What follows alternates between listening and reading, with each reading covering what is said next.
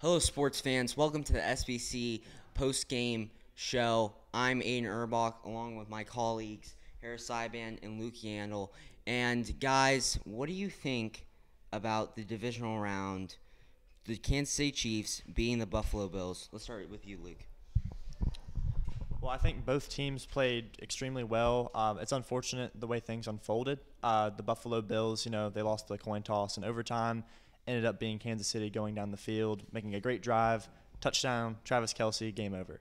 So hopes were crushed for the Bills, but uh, it was still a great game for both sides. Uh, I think both teams have a lot to be proud of and a lot to take away from that game.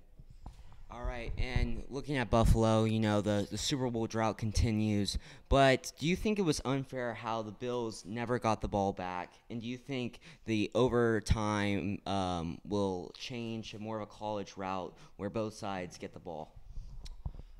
Well, actually, I don't. Uh, I think it'd be unfair to previous teams if the rule were to be reversed where there is no coin toss or, you know, both teams get the ball. I feel like that'd be unfair to previous teams that have lost because of that, and therefore they won't change the rule just for that reason. All right.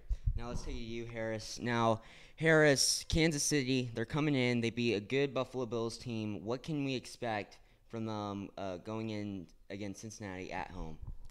Well, Cincinnati is already being an underdog in this game, as the lines have already opened up as a 14 and a half point underdog going in against the Chiefs. Well, the Bengals have shocked everybody this season. People didn't think they might not win six games going into the year, and they've proved everyone wrong. If Joe Burrow can utilize Ja'Marr Chase against that weak Chiefs secondary, the Bengals do have a chance going into this AFC Championship game. Okay. And uh, do you predict that the Bengals will win this game? I will say it's going to be close. I think the Bengals have a chance, but as of right now, I'm still sticking with the rolling hot Kansas City Chiefs. All right, now Luke, I'm going to ask the same question. You think Kansas City, with enough momentum to beat this tough Bills team, will have the same, uh, will carry the same momentum against this great Bengals offense and defense?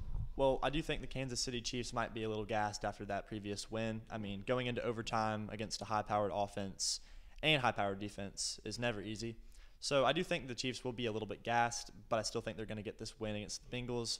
Uh, they're big favorites for a reason. They're almost better in every category except for probably running back. I think Joe Mixon is better than Clyde Edwards-Helaire, but I think the Chiefs will end up winning this game. All right, well, there you have it. Uh, great win for Kansas City. We'll see how they'll do against Cincinnati. Um, welcome. Uh, thank you guys for listening in, and let's take it back to the booth.